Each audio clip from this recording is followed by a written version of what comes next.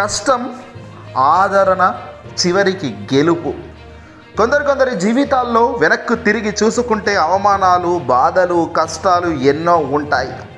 కానీ ఒకనాడు మంచి పొజిషన్లో గొప్ప స్థానంలో తిట్టిన వారే క్యూలో నిలబడి మెచ్చుకునే స్థాయిలో నిలబడి పొగుడుతున్నప్పుడు వచ్చే ఆనందం అనుభవించిన వాళ్ళు ఉన్నారు. ఇప్పుడు అదే లిస్ట్లో ఆంధ్రప్రదేశ్ సీఎం జగన్మోహన్ రెడ్డి గారు ఒకరైతే తెలంగాణ కొత్తగా కాంగ్రెస్ పార్టీ అధికారంలోకి రావడం ముఖ్యమంత్రిగా రేవంత్ రెడ్డిని అధిష్టానం ఓకే చేయడం చూస్తుంటే రెండో కోవలో రెండో సింహం ఇప్పుడు రేవంత్ రెడ్డి అని అనుక తప్పదు. కష్టాలు ఆయనకు చవి చూశాడు. ఇబ్బందికి గురయ్యాడు. చాలా దారుణంగా బాధపడ్డాడు. అల్టిమేట్గా కష్టపడ్డాడు. ఈరోజు ఊహించని స్థాయిలో ఆయన ముఖ్యమంత్రి స్థానంలో కూడా కూర్చోవడం జరిగింది. పార్టీ ఇతర ఇతర ఇవి కండిషన్స్ ఏవైనా కూడా అనుకున్న లక్ష్యం వైపు వెళ్ళడం అంటే అంత ఆషామాషి విషయం కాదు. లక్ష్యం నెరవేరేదాకా నిద్రపోకుండా కష్టపడితేనే అది సక్సెస్ అవుతుంది. తాజాగా ఆంధ్రప్రదేశ్ సీఎం జగన్మోహన్ రెడ్డి గారి ఇంటికి తెలంగాణ నూతన ముఖ్యమంత్రిగా రేవంత్ రెడ్డి భేటీ ఉండబోతుందా?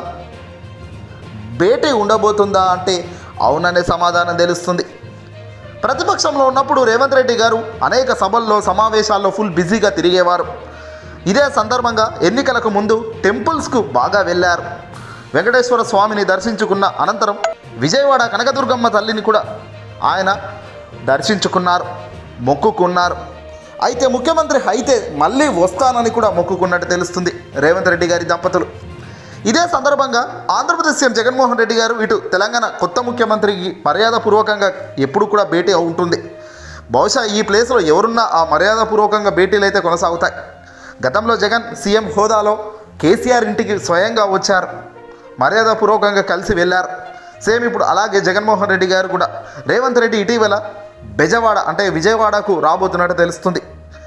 బహుశా మరికొద్ది రోజుల్లో ఆయన విజయవాడ కనకదుర్గమ్మ టెంపుల్కు వచ్చి దర్శించుకుంటారు. అనంతరం జగన్మోహన్ రెడ్డి గారి పిలుపు మేరకు విజయవాడ ఇంటికి స్వయంగా రేవంత్ రెడ్డి కుటుంబం వెళ్ళబోతుంది.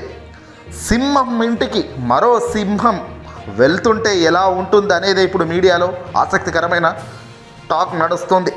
ఇద్దరు ఒకే దగ్గర భేటీ అయి ఇద్దరు కూడా కాసేపు చర్చించుకుంటారు.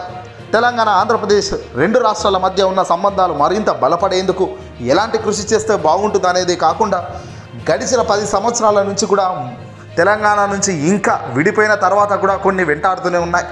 వాటిపై సమస్యలపై ఇద్దరు కూడా పరిష్కరించుకుంటారు. అనంతరం భేటీలో లంచ్ కూడా ఫాలో అప్ అవుతుందట. ఆ తర్వాత భేటీలో మాట్లాడుకొని లంచ్ చేసుకున్న తర్వాత తిరిగి రేవంత్ రెడ్డి మళ్ళీ హైదరాబాద్కు వస్తారని క్లియర్గా తెలుస్తుంది.